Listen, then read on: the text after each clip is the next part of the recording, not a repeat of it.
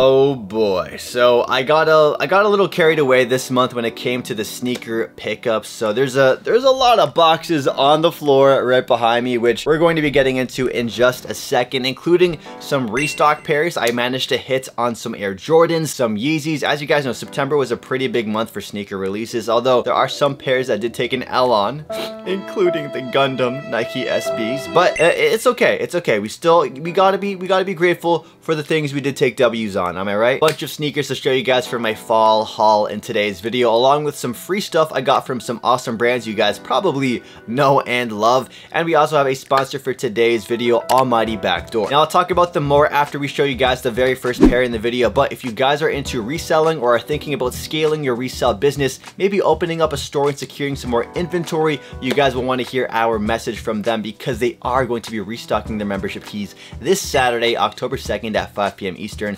So for our very first pair, I'm really excited for this because this is an Air Jordan restock, which I took an L on at the original release. This is a pair that a lot of people love the colorway of on a different retro Jordan. But this is the very first time they've released this retro Jordan in this particular colorway. So I'm hyped for this one. Uh, so, so happy I caught wind of this restock because they had like a full size run of these sneakers still sitting on their website when I went to check these out. This is probably going to be one of those Jordans I wear a lot this fall season. And I'd love to get your thoughts and opinions on any of the sneakers that I showcased you guys in today's video. Simple Jordan box right here. You guys might know what model this is based off of the actual box itself. But let's just pop open this lid and bam. Ooh, wow.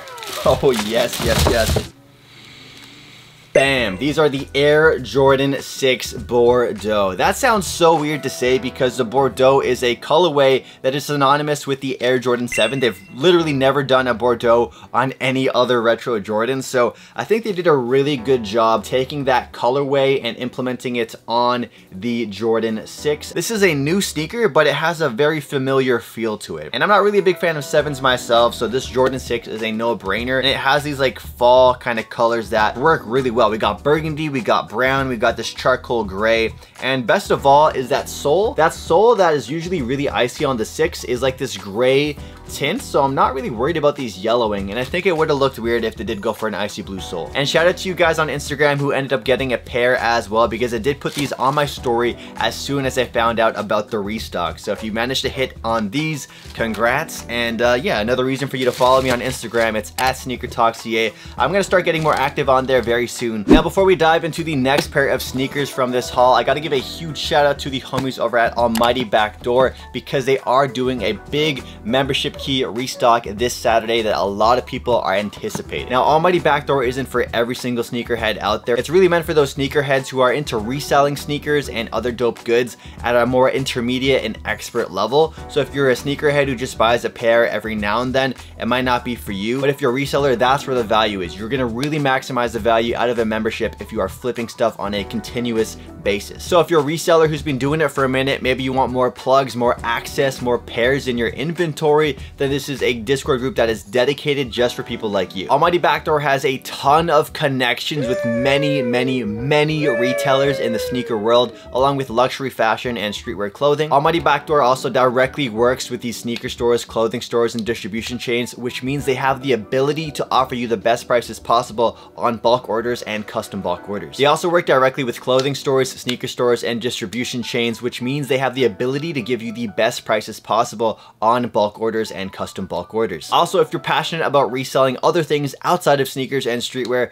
they also have access to stores that have sports cards, Apple products under retail, and they also have a wholesale account with Pokemon as well, which means you don't have to struggle to find pre-order places for Pokemon cards. You can get it directly from them in bulk. Some extra bonuses that I really like about Almighty Backdoor is they also do live Q&As and lecture sessions. So if you wanted to get some extra advice, maybe some strategies on reselling and how to scale up your business, they have those available to you, which is really, really useful if you're just getting into the game or you needed some direction on where to go when it comes to reselling. And of course, you have the standard things like ACOs and monitors, so you're gonna be able to flip things easily from the comfort of your own house and not have to worry about missing out on the latest drop. So if you're serious about scaling up your resale business game, make sure you guys check out the description down below for Almighty almighty backdoor. And uh, hopefully you guys can cop a membership key if you try this weekend. With that said, let's open up a ton more boxes and show you guys a ton more sneakers. This is a Yeezy restock right here in Canada. They actually restocked a bunch of different Yeezys that give, uh, yeah, they gave like member exclusive access to people on the Adidas app. They also restocked a bunch of Yeezy foam runners, but unfortunately, I took some L's on those, so hopefully I can end up with a pair in the future. But for now, we ended up with a different pair of Yeezys right here, and uh, I hope they do more restocks like this in the future for the foam runners and stuff like that. It's just really nice because you just get a notification on your phone and you enter the raffle, and that's that's all there is to it, which is really, really clutch. So let's pull this out of the box, and this is a pair of Yeezys I actually used to have, but the sizing was just too small. Adidas sent over a size 9.5, and they were just fitting a little bit too snug so I'm really glad that I managed to secure these in my proper size for this particular model. They're a pair of Yeezy Boost 700s. As you can tell by this box, we'll slide it out and see if the box farts. Oh, no, no fart today. Usually the 350 box farts. I will take out the paper and Bam! These are the Mauve Adidas Yeezy Boost 700 V2 and wow, these are these are going to be perfect for the fall season as well. Just look at these things. Earth tone sneakers are something I think you should have in your rotation when it comes to your fall sneaker rotation. And when it comes to the Yeezy 700 V2, if you guys have worn this sneaker before, you know just how comfortable these bad boys are. Like these are probably, yeah, these are, I gotta say these are more comfortable than the Yeezy 350 V2 line. And let me know in the comment section down below if you ended up getting a W on the recent Yeezy restocks. I know there was a ton of them, including the whole Yeezy day as well. So yeah, let me know in the comments if you struck a W on any of the recent Yeezys. With that said, let's get to the next pick. Red box. This is not a box we're used to seeing on the channel, and this was actually sent over from the fun, awesome people over at KFC. This is just a random gift they sent over, but I, I knew I wanted to show them to you guys. We got the KFC slides right here. I'm really hoping that my dog doesn't chew these up and, and steal them because usually my dog likes to steal socks and sandals. And I'm sure some of you guys out there also have no idea where your socks are because your dog probably steals them all. So yeah, we got the KFC Colonel sandals right here. Really dope and exclusive. I don't think these were actually available to the public at all. And then we also have a uh, KFC sweater as well which is just really random. It's, it's really random. It's their like attempt at streetwear. It's actually a genuine attempt at some KFC streetwear apparel. Now, it's not as hyped up as say the McDonald's and Travis Scott collaboration, but hey, it's still dope. Next up is a box from the people over at Puma. So this was actually sent to my old address uh, downtown. They have a note in here that says, Christian, stay comfy this fall signed Puma. The Puma Scuff Slipper. What a strange name for a slipper. My KFC slippers have some competition, but the box is really, really light, and I've never owned a pair of Puma slippers before, so... Oh, okay. Okay. Oh, they look cozy. These look like they're gonna be cozy and heavy duty. Now, they're not as hyped up as Yeezy foam runners, but I think these might be a lot more practical for in the house because just how cozy they look. It kind of has that like puffer winter jacket that you're used to seeing. I wonder if I can like wear these outside and they'll keep my feet warm uh, come the snow season because you know how you know how cold it gets when it comes to the winter season in Canada. But yeah, Puma sent over some slides. So shout out to Puma for the slide. Next up is a pair from uh, Adidas. So shout out to the friends over at Adidas for this. And I also have a box from Nike that came in as well. So I'll show you guys the pair from Nike. Those I picked up myself from the website. I'm not sure if it was a restock or not, but let's just open up this Adidas box real quick. It's been sitting in my house for at least two weeks now. So they have a little uh, Adidas Forum card in here as well that reads Forum Modern Varsity. So that's the probably particular model. Not the kind of packaging we're used to seeing. Oh my gosh, I'm pretty sure I'm pretty sure Adidas sent these to me when it was like that peak crate challenge season. You guys know the you, you guys know what I'm talking about. The crate challenge where they would stack up and people would basically like break their ankles trying to climb the crates. Um, but we have an Adidas branded crate. Yeah, that's actually dope an Adidas branded crate right here. I feel bad that I didn't open this up earlier because I think they did send this to me when it was, uh, the crate trend was super viral. So I'll have to show them some love later on. But here we have them. Oh, So they're a pair of low top forums.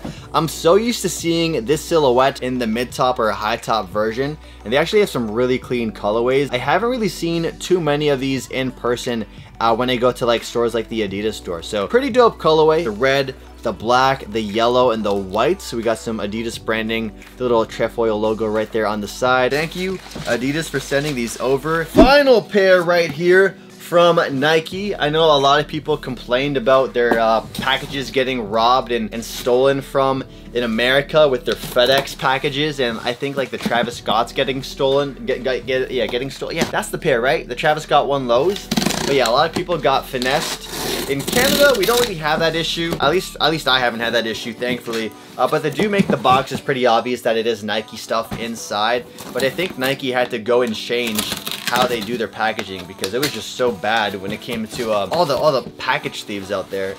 So here we go. Oh, so we got two pairs of Jordans in here. I completely forgot what these are. Uh, I ordered these a while ago and they finally, finally showed up. So let's open up this box right here. The very first pair here is a size 10 and these are pairs I won't be keeping in my collection. These are strictly for review like a lot of pairs I've been buying recently because I just it's just, just so much pairs out there. I can't wear everything. So this is the very first pair.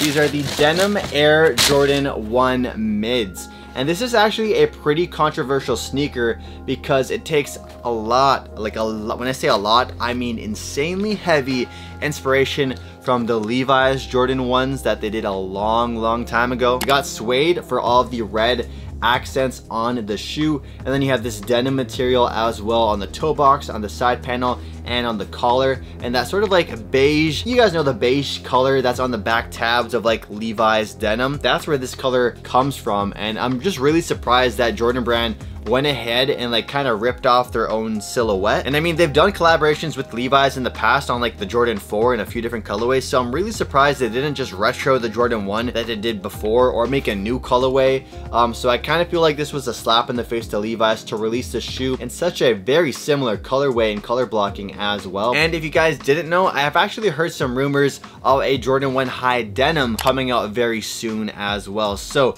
uh, make sure you guys subscribe to the channel for some sneaker news. I'm to get back on the sneaker news grind. The other pair right here, which is a size 12. So it's gonna be way too big for me. I can tell you that much. But uh, this is a pair that is probably gonna be more liked. I, I don't know. I'm not sure which pair you guys are gonna like more, but this is the other pair. We have the Jordan 1 Low Denim. And instead of the uh, suede or nubuck, actually this is, yeah, this pair uses nubuck, while this pair uses suede. That's very strange. So you got red suede on the mids, but when it comes to the lows, they use blue, like a dark navy blue nubuck. And then you have this tan color with the red contrast stitching. Now you can rock a full Canadian tuxedo with some Jordan 1 lows. I'm actually really surprised it took so long for a Jordan 1 low denim to come out, especially since the Jordan 1 low has had so much hype earlier this year and even the last couple of years. But hey, it's about time they finally did it. And I actually have like some fake pairs of sneakers from Green Hills in the Philippines, which I bargained for. I'll leave my Philippine bargaining playlist linked down below. We bought some fake denim mids